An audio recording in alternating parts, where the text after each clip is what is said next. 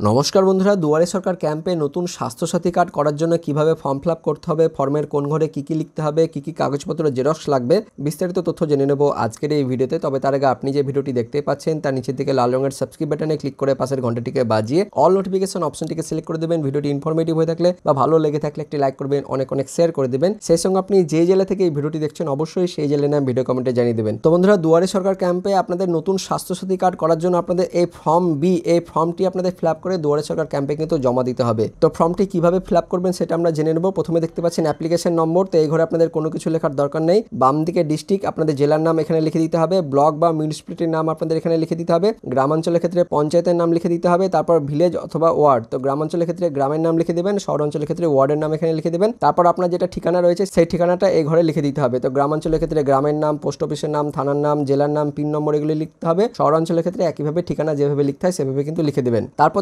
ডান দিকে লেখা রয়েছে মাইনরিটি স্ট্যাটাস তো যারা হিন্দু, তাদের ক্ষেত্রে নোয়ের ওপরে টিক হবে। আর যারা মুসলিম, খ্রিস্টান, শিখ, জৈন, বৌদ্ধ, তাদের ক্ষেত্রে ইয়েস এর ওপর টিক দিতে হবে। তো সংখ্যা লঘুদের ক্ষেত্রে ইয়েস হবে আর সংখ্যা গুরুদের ক্ষেত্রে নোয়ের ওপরে টিক দিতে হবে। তারপর আপনার যে কাস্ট রয়েছে শিডিউল কাস্ট শিডিউল ট্রাইব বা ওবিসি সেটা কিন্তু আপনাদের টিক দিতে হবে। জেনারেলদের ক্ষেত্রে পাশে এটা কিন্তু কেটে আপনারা জেন কিন্তু এখানে লিখে দিবেন। তারপর ডিপার্টমেন্ট ইফ এমপ্লয়েড তো আপনি যদি চাকরিজীবী হয়ে থাকেন, সেক্ষেত্রে কোন ডিপার্টমেন্টে আপনি চাকরি করেন, সেই ডিপার্টমেন্টের নামটা কিন্তু লিখতে হবে। এবং সেক্ষেত্রে তার ক্যাটাগরি কোন ক্যাটাগরি রয়েছে? গ্রুপ এ না গ্রুপ বি না গ্রুপ সি না গ্রুপ ডি সেই গ্রুপটা কিন্তু লিখতে হবে। আর যারা চাকরি করেন না, তাদের ক্ষেত্রে কিন্তু এই ঘর দুটো এনে, অর্থাৎ নট অ্যাপ্লিকেবল এই কথাটা কিন্তু লিখে দেবেন। তো একইভাবে যারা চাকরি করেন, তাদের অফিসের নাম এবং ঠিকানা এই ঘরে লিখতে হবে। যারা চাকরি করেন না, তাদের ক্ষেত্রে এনে, অর্থাৎ নট অ্যাপ্লিকেবল এই কথাটা কিন্তু লিখে দেবেন। তারপর দেখতে পাচ্ছেন নেম অফ দ্য অ্যাপ্লিক্যান্ট তো এই ঘরটা হচ্ছে সব থেকে ভাইটাল নেম অফ দ্য অ্যাপ্লিকেন্টের ঘরে যার নাম লিখবেন, তার নামেই কিন্তু স্বাস্থ্যসাথী কার্ড হবে। তো নেম অফ দ্য অ্যাপ্লিকেন্টের ঘরে সাধারণত মহিলার নাম দেওয়ার কিন্তু চেষ্টা করবেন। বিশেষ করে ছেলের বউ বা বৌমার নাম কিন্তু দেওয়ার চেষ্টা করবেন। বা যদি স্বামী, স্ত্রী যদি হয়ে থাকে, সেক্ষেত্রে কিন্তু স্ত্রীর নাম দেওয়ার চেষ্টা করবেন এবং পরিবারে যদি মহিলা সদস্য যদি না থাকে, সেক্ষেত্রে পুরুষ সদস্যের নাম দিলেও কিন্তু হবে। এখানে চেষ্টা করবেন অবশ্যই মহিলা সদস্যের কিন্তু নাম দেওয়ার চেষ্টা করবেন। এখানে অবশ্যই আপনাদের পরিবারে মহিলার নাম লিখে দেবেন। তারপরে তার ফাদার্স নেম দেখতে পাচ্ছেন? এখানে কিন্তু শ্বশুরের নাম নয়, কিন্তু সেই মহিলার নিজের বাবার নাম কিন্তু এই ঘরে লিখে দিতে হবে। তারপর দেখতে পাচ্ছেন নিচের দিকে,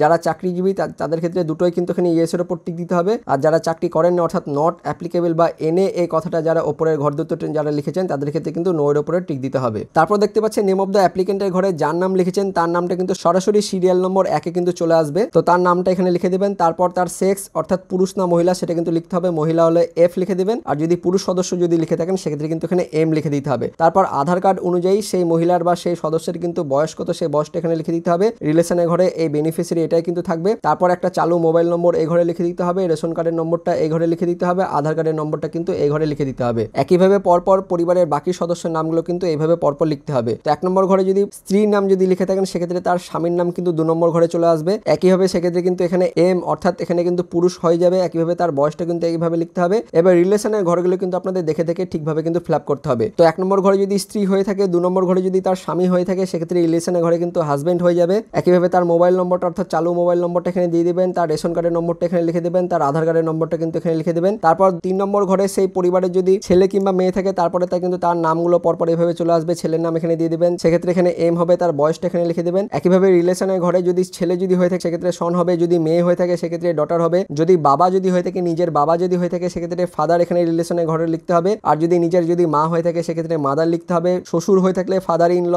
শাশুড়ি হয়ে থাকলে মাদার ইন ল এইভাবে কিন্তু পরপর আপনাদের সমস্ত সদস্যের নামগুলো লিখে দিতে হবে। সেই সঙ্গে আপনাদের জানিয়ে রাখি যে, সেই পরিবারে যদি দেওর বা ননদ এরকম সম্পর্ক যদি কোনো সদস্য থাকে, সেক্ষেত্রে কিন্তু তারা কিন্তু এই ফর্মে কিন্তু তাদের নাম কিন্তু লিখতে পারবেন না। সেক্ষেত্রে সেই ননদ বা দেওরকে তার বাবা মায়ের সঙ্গে কিন্তু আলাদা ফর্ম ফিল করতে হবে। কারণ আপনারা জানেন যে ছেলের বিয়ে হয়ে গেলে সেটা কিন্তু আলাদা পরিবার হয়ে যায়। তাই আপনাদের যদি পরিবারে যদি বিয়ে যদি হয়ে যায় ছেলের, সেক্ষেত্রে সেই ছেলের কিন্তু আলাদা পরিবারে অর্থাৎ আলাদা ফর্ম ফিল হবে এবং বাকি যারা রয়েছেন অর্থাৎ যারা হচ্ছে বাবা, মা, তার সাথে যদি তার ভাই কিংবা বোন থাকে, সেক্ষেত্রে কিন্তু তার আলাদা ফর্ম ফিল হবে। এবং ননদ বা দেওয়ার সেক্ষেত্রে কিন্তু তার দাদা বৌদির সাথে কিন্তু থাকতে পারবে না। ননদ বা দেওয়ার সেক্ষেত্রে কিন্তু তার বাবা মায়ের সাথে কিন্তু আলাদা করে ফর্ম ফিল করতে হবে। তো আশা করি বুঝতে পেরেছেন। তো এই ফর্মে শুধুমাত্র husband wife father mother father in law mother in law son daughter এই সমস্ত সম্পর্কগুলো কিন্তু লেখা যাবে। অন্য সম্পর্কগুলো কিন্তু এই ফর্মে কিন্তু লেখা যাবে না এবং সেক্ষেত্রে কিন্তু কম্পিউটারে যেহেতু এন্ট্রি হচ্ছে না, তাই অন্য সম্পর্কগুলো কিন্তু লেখা যাবে না। সে সঙ্গে আপনাদের জানিয়ে রেখে যে একটা কিন্তু অবশ্যই চালু মোবাইল নম্বর দিতেই হবে। প্রত্যেকের ক্ষেত্রে দেওয়ার দরকার নেই যে কোনো একজন অর্থাৎ প্রথমটার ক্ষেত্রে মোবাইল নম্বর দিলেই হবে, পরবর্তীকালে কিন্তু আর মোবাইল নম্বর না দিলে হবে।